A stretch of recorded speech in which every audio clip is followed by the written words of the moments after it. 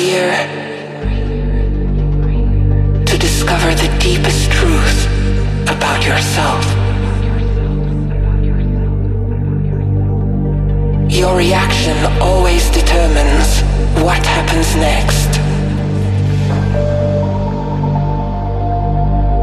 Committing your life to being against something is a recipe for suffering.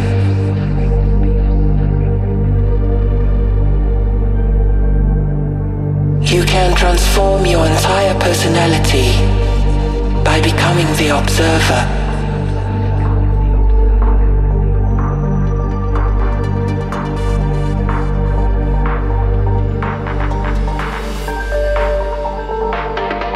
Every dysfunction is a disguised opportunity for salvation.